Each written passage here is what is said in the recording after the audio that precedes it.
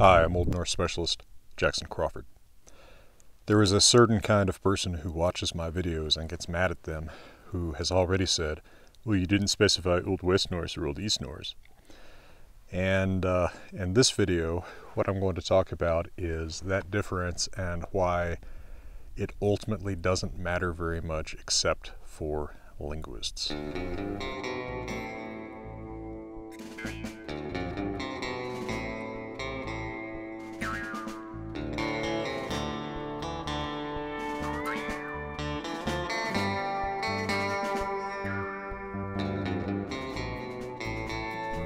So specifying Old West Norse versus Old East Norse is a little bit like specifying British English versus American English.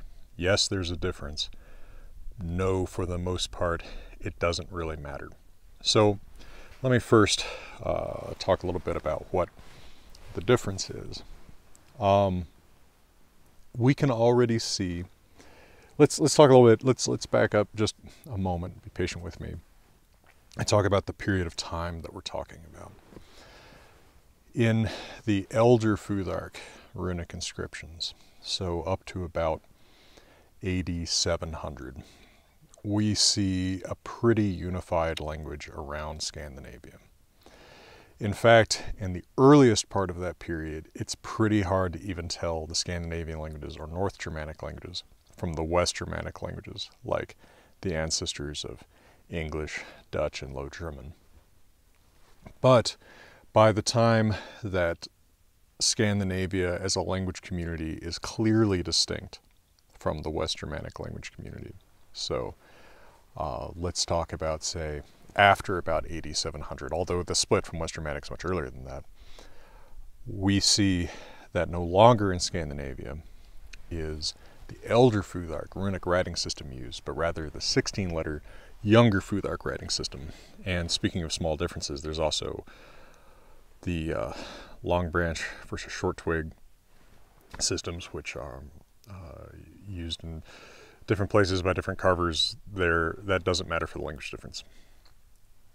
By the time that the younger Futhark is being written, although already in the very last period of Elder Futhark inscriptions in Scandinavia, we see some minor differences between Old West Norse, which is the language developing after, again, 8700 is a nice, convenient break to use for both Elder Futhark versus Younger Futhark and what we can call Proto Norse versus Old Norse, because not only do we have that change in which runic system is used, but also we see some really major language changes right about that time, principally the effects of I mutation or I umlaut which I'll come back to in a moment because it's actually kind of important for the Old West versus Old East Norse distinction.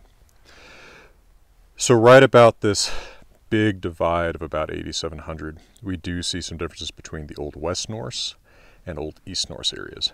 Now, Old West Norse includes Norway, although really not all of Norway, because Viken, the area around Oslo, southeastern Norway, is so interlinked with eastern Scandinavia that it has a lot of East Norse features. So let's say the bulk of Norway, certainly western Norway and northern Norway, and areas settled from them. So that's going to include the Isles north of Scotland, right?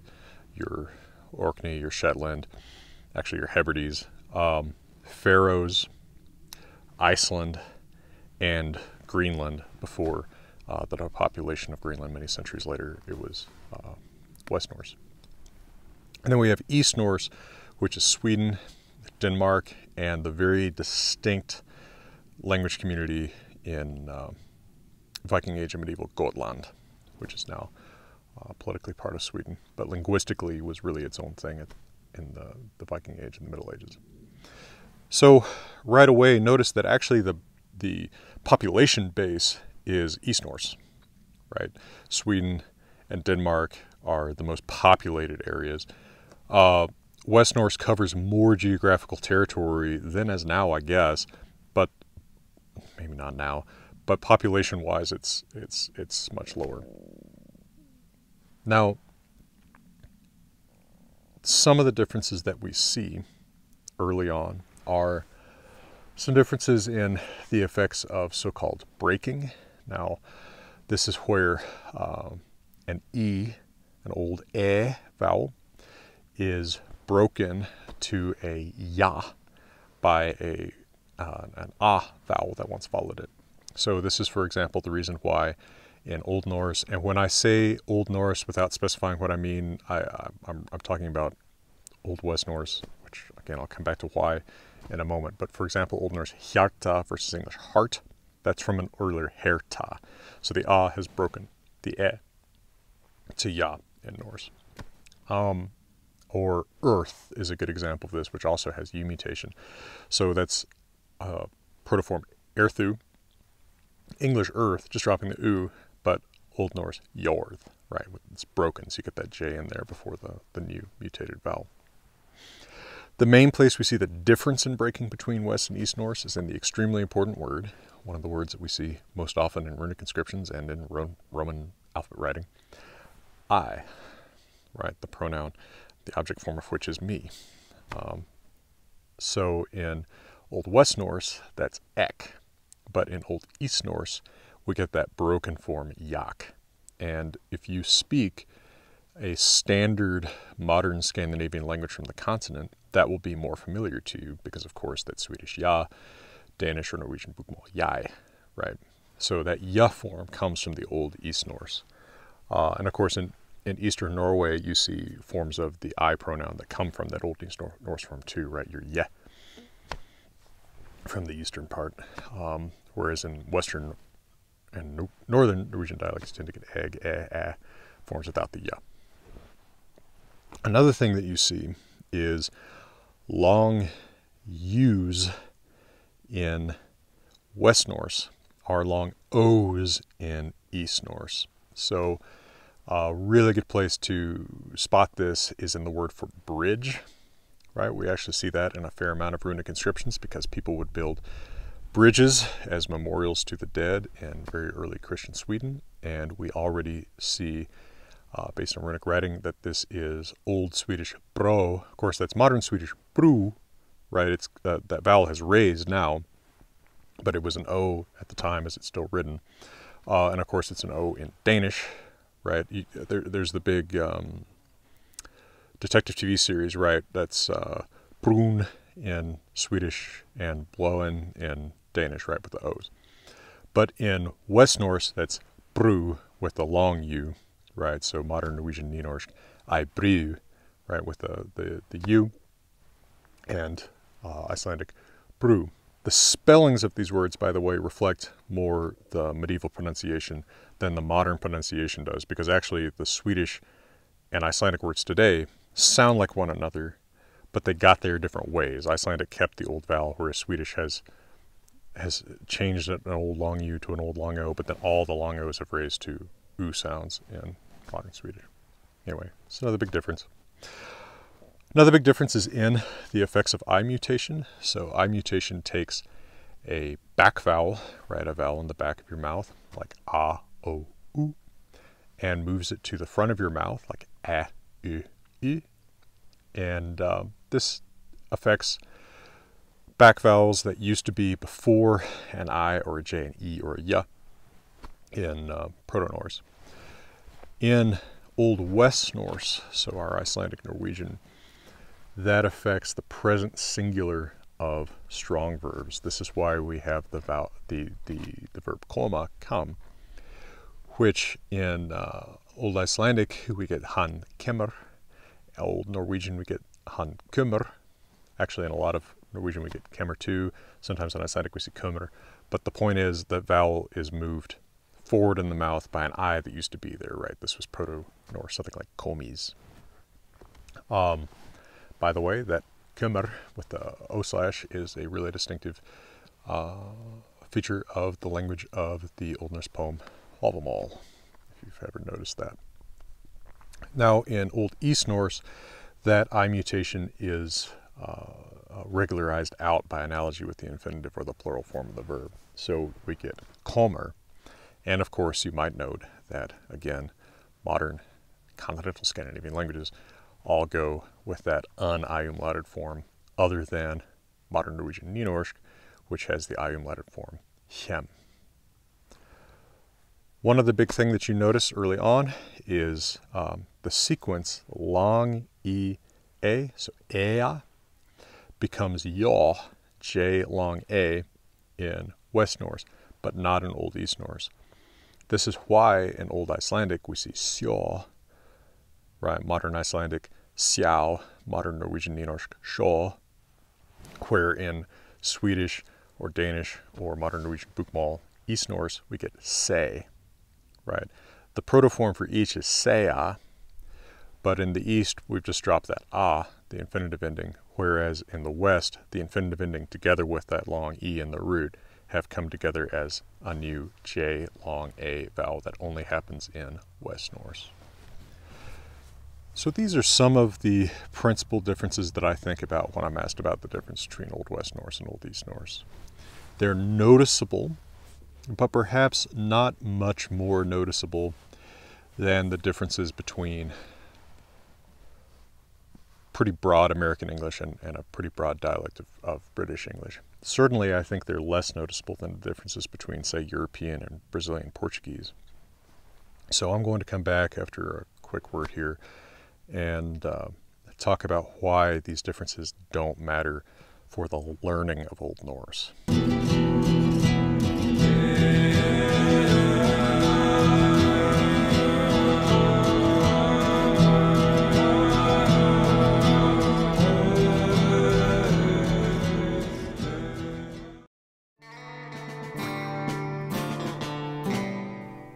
So if you're learning Old Norse, and by the way, how do you do that? I mention this all the time and, and, and people don't see it. I recommend a new introduction to Old Norse by um, Michael Barnes and Anthony Faulkes. You can get that for free as of November 2022 as a download from the Viking Society for Northern Research. I am also working on and uh, am now, thanks to NaNoWriMoing this, um, well into my own uh, textbook for self-study of Old Norse, so I hope that'll be available in the next couple of years. Uh, I also have some videos that uh, introduce you to Old Norse and get you to uh, some basic uh, reading fluency if you if you work through them. All right, if you're reading Old Norse, learning to read Old Norse, what you're learning to read is Old West Norse. Why? You know, I, I people ask this and get upset about this, and I don't know what who someone put this in people's ear, right? There's some serpent out there whispering, uh, you know, Jackson Crawford is a traitor to Old East Norse, and I don't know who started this. Um, you know, I, somehow I somehow got the impression that Neil Gaiman somewhere might have said that it was a big deal, right? Old West Norse versus Old East Norse. Um, maybe this has been reinforced by one of those pagan guru, big beard guys who says, you know, like, oh, if you're Swedish, you need to do Old East Norse, your Swedish heritage or whatever. I, I don't know. But here's the thing there's barely anything to read in Old East Norse. Most of the stuff to read is in Old West Norse. So, why on earth would you focus on reading Old East Norse first when there's not enough of a difference to justify focusing on just that versus Old West Norse, right? There's no there's no Old East Norse Edda. There's kind of a little bit of saga in Old East Norse, right? We have Guta Saga, the saga of uh, uh, Gotland, but actually the language of Gotland is more like Old Icelandic in some central respects because it's so conservative than it is like Old East Norse, uh, at, at, least by the Middle Ages, where you get all the monophthongization of vowels. Um, if you want to read Old Norse, learn Old West Norse, which really means Old Icelandic in about the 1200s, right? We have to pick something in the Old Norse timeline and somewhere in the vast expanse of land where Old Norse is spoken, from Greenland to parts of present day Russia and Ukraine. Uh, we have to pick somewhere to focus on, right?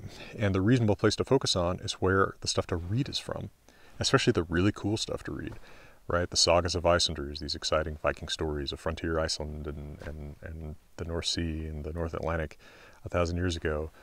Uh, the Poetic Edda, right? The stories of the Norse gods and heroes. The saga of the Volsungs, right? One of the great uh, you know, really the Iliad of the North, or I hate saying this, but it is kind of the cultural equivalent, Star Wars of the North.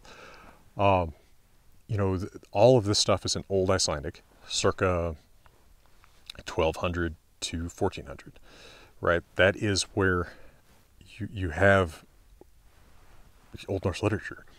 So why on earth not focus on that, right? It's a little bit like saying, um, you know, you, you want to read something that I wrote. Not very smoky Bear likely, I guess, but say that you did, and you pick up uh, a book that's, you know, say you don't speak any English, and it's, you know, a teach yourself English book, and the first thing that it teaches you to read is, you know, standard British English. So I don't know, you're reading a, a, a Neil Gaiman or something to, to start with. Well, that's it's not like that's a huge jump to make to reading my weird fossilized you know rural western american english um, there's a few differences of grammar some differences of word choice uh, if you're hearing it out loud uh, some differences of pronunciation but it's not like learning to read yeah you know neil gaiman is actually a pretty good example because we've kind of different uh, modern english styles um, it's it's not like some huge jump, right? You're not betraying my English. Like I, I, people get these weird emotional feelings about this. Um, you would learn to read whatever there's a lot to read of, and then you would just you know kind of have to get used to uh, almost just a different style, and that's kind of what you've got with starting with what we sometimes call classical Old Norse, right? Old, Old Icelandic from about 1250, 1300, versus reading other styles of Old Norse. Um, there's definitely different spellings, right?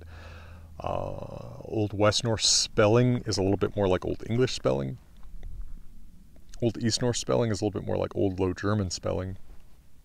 So, for example, um, you know, you have some peculiarities you have to get used to, like the the FFW thing that's sometimes used just where uh, Old West Norse has uh, just an F for the V sound. So Hava can be spelled in a really unfamiliar looking way in Old East Norse with Swedish. Uh, if you really want to read a bunch of Old East Norse, you're going to wind up reading fairly late-ish Old Swedish, which is going to mean getting used to monophthongized vowels. But if you're already into Swedish, it's not so hard. Um, you know, you're going to see Stan instead of Stein, that kind of thing. Um, you're going to have to get used to reading Fraktur if you want to read a lot of Old East Norse. But the thing is, I know the thing that people want to read in Old Norse isn't, you know, the the the old Swedish Bible. They want to read sagas and eddas and stuff. And of course, if you want to read stuff that's in, in runes, right, say the Rök runestone, that's so old that there's even less difference between Old West Norse and Old East Norse. So folks, calm down about this Old West Norse versus Old East Norse distinction. Yes, when I talk about Old Norse, I am principally talking about Old West Norse because that's what we have. That's what the cool stuff is written in, right? Um, it's a little bit like saying, you know, there's a, I don't know, there's a pretty part of this country and there's an ugly part of this country, and you only show us the pretty part which betrays the, the, the not as pretty part or something. It, it, it, it doesn't, right? I, uh, I'm here to teach about a language and its literature. Um, Old East Norse is interesting. I'm already regretting the pretty versus ugly part of this country analogy. Um, but there's just not as much there, right? There's not as many roads to it. So if you're looking to take a road trip through Old Norse, Old West Norse is where you're going to be taking your road trip because you can't get your vehicle uh, to a lot of Old East Norse. Now, there's some pretty inaccessible parts of Old East Norse that I guess you could soup up a Jeep to get to. How about that? That's a slightly better analogy. But that's still going to take you building a Jeep that's roadworthy, that will get you over the Old West Norse foothills that you need to access the Old East Norse and, and by the way, there's no like intro to Old East Norse book, right? There's no book that's going to start you with reading Old East Norse versus Old West Norse. The way to learn Old East Norse, if that's what you're looking to do, is to go through learning Classical Old Norse, which means, again, Old Icelandic circa 1200 to 1400 AD. Um, I recommend Barnes and Faulkes. My own book, of course, will be focused on that area. Uh, my videos are focused on that, that time and place. Um, and then learn these little differences that make it possible for you to read Old East Norse. Well, anyway, from beautiful Old East Utah, I'm wishing you all the best. And thank you, Patreon, very much for your continued support through what I know has been a real tough year for uh, a lot of people financially. Christmas cards, as usual, coming soon. All right. All the best.